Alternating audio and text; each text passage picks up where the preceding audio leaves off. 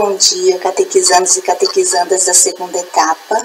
Eu sou a catequista Suzana, da Matriz Nossa Senhora do Perpétuo Socorro, e estou aqui representando todos os catequistas, as catequistas da segunda etapa. Durante esse momento de pandemia, em que a gente não pode ter a catequese presencial, os vídeos serão uma maneira de nós estarmos interagindo com vocês. Então eu peço carinhosamente que vocês assistam aos vídeos, vão realizando as atividades propostas no livro de vocês de cada encontro, tirem fotos, enviem para os catequistas de vocês, vão anotando todas as dúvidas que forem surgindo. Vocês podem estar tirando essas dúvidas diretamente com o catequista de vocês, ou então, assim que nós retornar à catequese presencial, estaremos retomando todos os encontros novamente e tirando todas as dúvidas de vocês. E para começar bem nosso vídeo, vamos pedir ao Espírito Santo que nos ilumine, que nos dê o entendimento necessário para entendermos o que Deus está falando conosco neste encontro de hoje. Em nome do Pai, do Filho e do Espírito Santo. Amém. Vinde, Espírito Santo, enchei os corações dos vossos fiéis e acendei neles o fogo do vosso amor. Enviai o vosso Espírito e tudo será criado, e renovareis a face da terra. Oremos.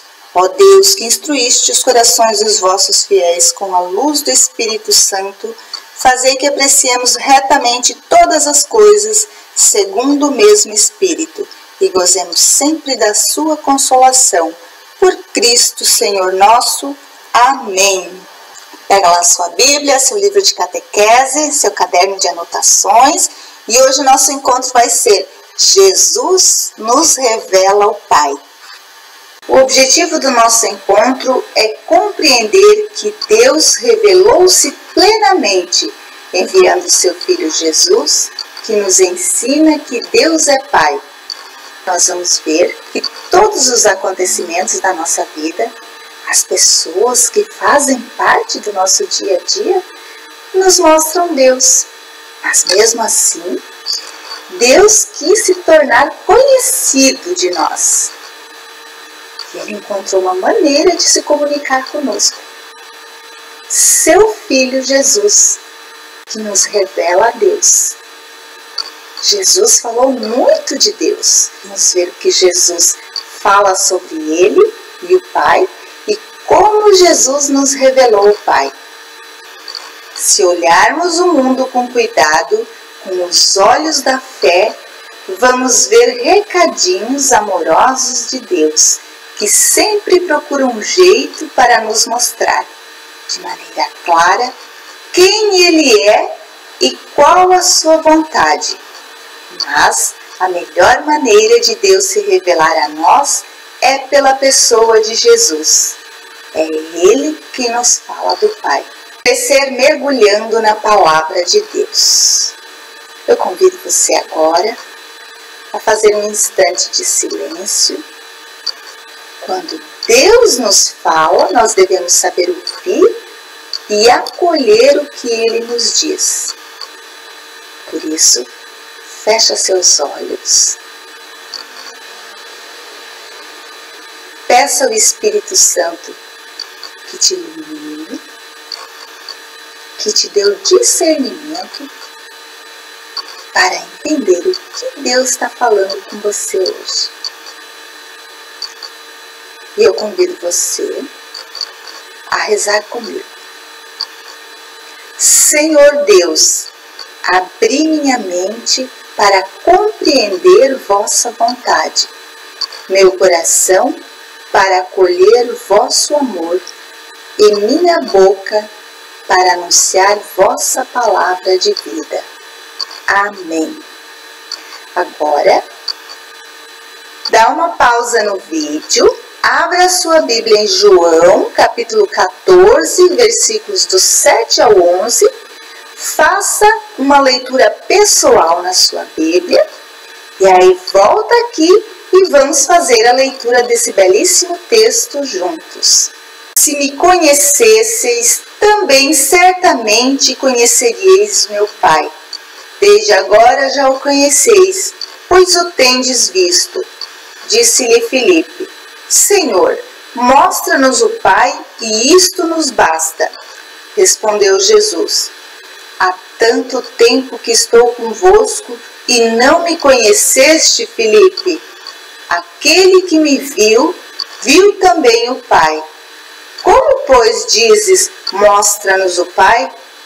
Não credes que estou no Pai e que o Pai está em mim? As palavras que vos digo, não as digo de mim mesmo, mas o Pai que permanece em mim é que realiza as suas próprias obras. Crede-me, estou no Pai e o Pai em mim. Crede-o ao menos por causa dessas obras. Palavra da salvação. Glória a vós, Senhor. Quem me viu, viu o Pai. Essa imagem está lá no livro de vocês, na página 8. Eu convido você a olhar para essa imagem agora e tentar perceber nessa imagem o que ela tem de parecido com o nosso texto de hoje. Mas primeiro vamos ver o que, significa a palavra revelar.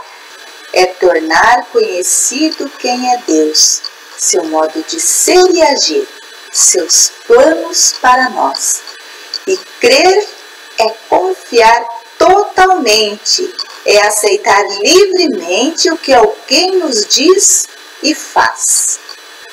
Nessa imagem nós vemos muitas pessoas. Vamos imaginar que essas pessoas são as pessoas da nossa vida, as pessoas que nos revelam Deus, os presentinhos de Deus, nossos pais, nossos avós, nossos familiares, nossos amigos, os professores, os catequistas, padre, todas as pessoas do nosso dia a dia nos revelam Deus. O que mais chamou sua atenção nesse texto? E por quê? Para você, como está o rosto de Deus? Jesus diz que está no Pai. Pense em suas atitudes e responda: Você procura estar perto de Deus Pai? Como? Nós vimos lá no versículo 9 que Jesus fala com Felipe ainda não me conheces? Essas palavras elas não são só para o Felipe, elas são para todos nós, porque com essas palavras nós percebemos a manifestação da humanidade do rosto do Pai na pessoa do Filho. Ver a Ele é como ver o próprio Deus, e essa verdade foi próprio Jesus que fez nós conhecer. Vejam lá no texto de vocês, quando ele diz: Há tanto tempo que estou convosco e ainda não me conheces, Felipe? Agora imagine Jesus falando com você. Há quanto tempo estou contigo, Susana, e ainda não me conheces? Não sabes que quem me vê também vê o Pai? Felipe, naquele momento, como muitos de nós ainda hoje, não tinha compreendido essa verdade. Jesus Cristo veio ao mundo com a missão de nos revelar as obras do Pai e manifestar entre nós o seu poder amoroso. O Evangelho nos mostra a perfeita sintonia de Jesus com o Pai. Acreditar em Jesus, crer nas suas palavras, é o primeiro passo para que vejamos o Pai. Nós vimos que Jesus nos pede para crermos nele, nas palavras dele e eu pergunto para você, meu querido catequizando, minha querida catequizanda. Se as outras pessoas à nossa volta, todos os acontecimentos do nosso dia a dia, nos revelam Deus, nós também revelamos Deus para as outras pessoas. E você? Você tem revelado Deus às outras pessoas? Qual o reflexo de Jesus que você tem revelado às pessoas à sua volta? Neste momento de pandemia, em que muitas famílias estão em casa? Você tem contribuído para a harmonia do seu lar? Você tem cumprido com as suas tarefas, os seus afazeres, sem murmúrios, lamentações? Como você tem revelado Deus para os seus familiares, para seus amigos, para os seus parentes, para as pessoas do seu dia a dia? Você tem conversado com Deus na oração? Você tem tirado algum momento do dia para conversar com Deus? Para conhecê-lo melhor? Para agradecer? Ele, é o nosso melhor amigo, nosso maior tesouro. Como você tem cuidado desse tesouro precioso? Você tem conversado com ele, dado atenção? Vamos pedir ao Espírito Santo a graça de compreendermos o mistério da vida que a Sua palavra hoje nos revelou. Reza comigo. Senhor Jesus, dá-me um coração simples para compreender a riqueza de ensinamentos escondida em Tua palavra. Amém. Lá na página 9 do livro de vocês, escolha e escreva um versículo para a sua vida. Você vai escolher aquele versículo que mais tocou o seu coração, aquele que você quer levá-lo para a sua vida. E você escreve no seu livro. E para sentir a presença de Jesus em nossa vida, vamos falar com Ele o que está em nosso coração? Peça que Ele faça você compreender cada vez mais seus ensinamentos para seguir o caminho que Ele quer nos mostrar. Juntos, vamos rezar essa oração que está lá no livro de vocês, na página 9? Jesus, aumenta a minha fé. Jesus, eu acredito que seguindo teus passos poderei estar cada vez mais perto de Deus Pai. Jesus, aumenta a minha fé. Jesus, eu acredito que ouvindo teus ensinamentos serei mais feliz. Jesus, aumenta a minha fé. Crescer compreendendo a palavra de Deus. As pessoas tentam explicar como Deus é usando a imaginação demonstrada nas esculturas, pinturas, desenhos. Porém, Deus se revelou a nós em um acontecimento único, na pessoa de Jesus de Nazaré. Tudo o que ele fazia e dizia suas ações e palavras nos revelava quem era o Pai. Isso porque Jesus, sendo Filho de Deus, é bem parecido com Ele. Jesus veio ao mundo para nos mostrar o amor de Deus por nós.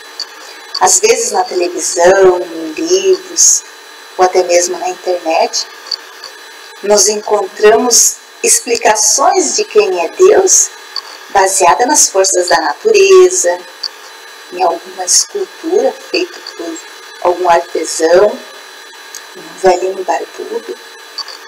Mas nós cristãos buscamos mais. Para nós, Jesus nos revelou Deus como Pai. Vocês sabem para que serve a fotografia? Para marcar momentos importantes na nossa vida, também para lembrarmos das pessoas queridas que passam pela nossa vida, não é mesmo? E eu trouxe aqui uma fotografia de uma pessoa muito especial para nós cristãos. Uma pessoa muito amada de Deus, que Deus já o levou. E eu quero mostrar a foto para ver se vocês conseguem identificar quem é essa pessoa. Vou aumentar um pouquinho aqui para vocês verem melhor. Olha só para ele. Tem o cabelo branquinho, pele branca, com algumas rugas, olhar sereno, as vestes brancas. Um homem de Deus, um homem iluminado e que teve uma vida muito abençoada. Vocês sabem quem ele é? Vocês conseguiram descobrir quem é essa pessoa de Deus aqui da foto? Olhem bem para ele. Seus olhos, seu sorriso. E agora eu trouxe uma outra foto para vocês identificarem a pessoa que eu estava falando. Qual foto foi mais fácil de identificar a pessoa? Vocês reconhecem essa pessoa da foto? Só que agora ele tem um rosto. São João Paulo II, santo da Igreja Católica. Em 2014, o Papa Francisco, juntamente com o Papa Emérito Bento XVI, numa cerimônia inédita, eles declararam santo o Papa João Paulo II, juntamente com o Papa João XXIII. Fica bem mais fácil nós identificarmos uma pessoa quando nós conseguimos visualizar seu rosto, não é mesmo? Deus sempre procura um jeito de se comunicar conosco. Se nós olharmos o mundo com os olhos da fé, nós vamos perceber os recadinhos de Deus todos os dias para nós. Porém, Deus quis mostrar de maneira clara o seu rosto e a sua vontade. E este foi o jeito de Deus se revelar a nós. Jesus nos revela que Ele é Deus e que Ele é nosso Pai. Crescer na vivência da palavra de Deus. Em Jesus nós podemos compreender como Deus é bom e é nosso Pai. E é muito importante nós reconhecermos que à nossa volta há muitas pessoas com essas características de Deus. E você, meu querido catequizando, minha querida catequizanda, você tem características de Deus também? Muitas pessoas revelam com seus gestos e atitudes características de Deus. Escreva o nome de algumas pessoas e suas características, semelhantes às de Deus Pai. Chegamos ao final do nosso encontro de hoje. Espero que vocês tenham gostado. Eu peço carinhosamente que vocês realizem as atividades propostas no livro de vocês. Se não conseguir realizar sozinho, peça ajuda de um familiar seu que está em casa. Tire foto e envie para seus catequistas. E o convite especial para essa semana é para você rezar para as pessoas que você citou que têm características de Deus, para que elas continuem manifestando com suas vidas a presença de Deus no mundo. E rezem também por nós catequistas.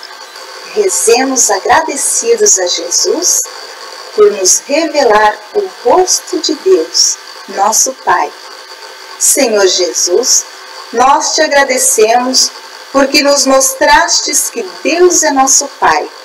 Como filhos, queremos retribuir o seu amor por nós. Ensina-nos, Jesus, a descobrir o rosto de Deus nas pessoas à nossa volta. Abençoe-nos, ó Deus Todo-Poderoso, em nome do Pai, do Filho e do Espírito Santo. Amém. Fique com Deus e até semana que vem.